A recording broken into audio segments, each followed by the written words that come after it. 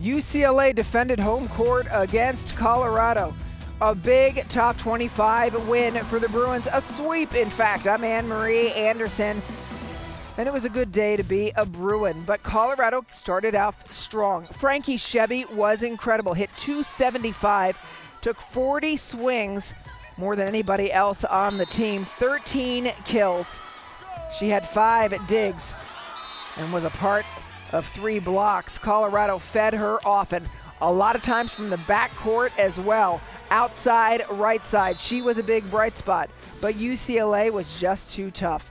Riley Buechler in her second to last match ever at Pauley Pavilion, at least regular season, again carried the load. Defensively, she matched her offensive energy. 13 digs for Riley Buechler as she again was supported on the outside by Mosier. Buechler putting it away time and time again.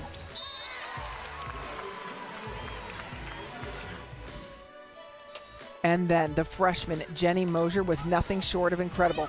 One dig shy of a double double, 14 kills. She hit 263 and took 38 swings, more than anybody else on the Bruins squad. G, true freshman, Mosier brought tons of energy. Nine digs, two blocks. When you take a look at the numbers overall, they tell the story. UCLA hit 224.